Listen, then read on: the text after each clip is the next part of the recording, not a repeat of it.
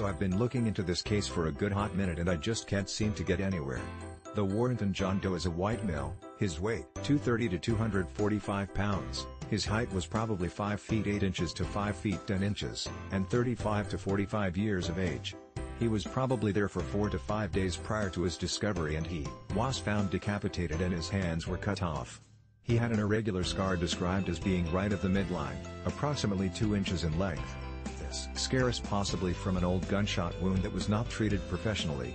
He was found wearing a dark blue, short-sleeve, 1987 Rose Bowl t-shirt, size 1XL, blue jeans, Oscar de la Renta brand, unknown size, were hem 2 inches with frayed ends, belt, Justin brand, white jockey, underwear JC Penney brand, white Nike high-top tennis shoes, size 9, possibly new, due to clean soles.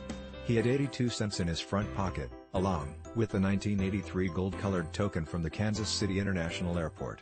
And I think that his body came from somewhere else and I just was dumped in Warrenton. I tried doing a little bit of research on the Rose Bowl and maybe even looking into the University of Michigan's team to see if maybe he was a part, but I couldn't turn up with anything. Then I looked for missing persons. That would match the clothing description of the height, weight, and age of the John Doe and I didn't find anything either. Then I started looking into missing cases around Kansas City because of the coin that was found in his pocket.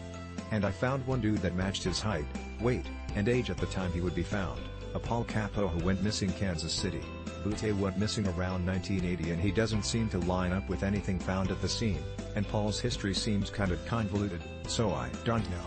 When it comes to theories about missing people and John and Jane does, I'm not the best but I feel like this subreddit would know how to dig up stuff up, I'll give you the John Doe paper and try to look more into it and update if I find anything new. https colon slash slash www.fbi.gov slash wanted slash ViCAP slash unidentified person slash John Doe Warrenton mo https colon slash slash www.fbi.gov slash wanted slash ViCAP slash unidentified person slash John Doe Warrenton mo. ISIS my first post, by the way, so I'm sorry if it's bad formatting.